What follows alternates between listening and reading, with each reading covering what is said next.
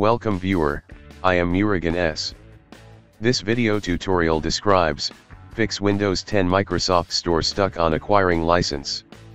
First method is right click Task Manager, click Task Manager. Click Services tab.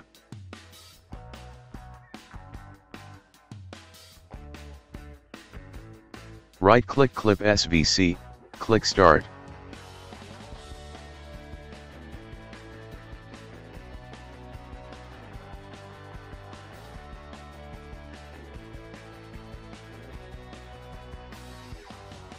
Second method is open any browser.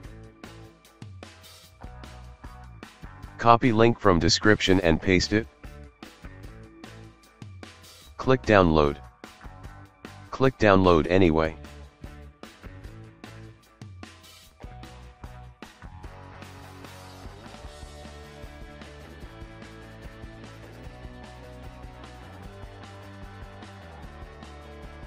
Right click, click merge, click yes.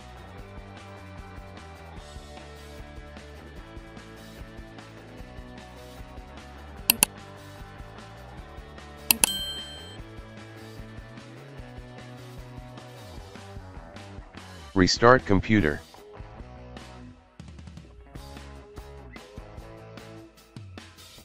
I hope this video tutorial helps to you, please like, share and don't forget to subscribe my channel, thank you very much, see you next video.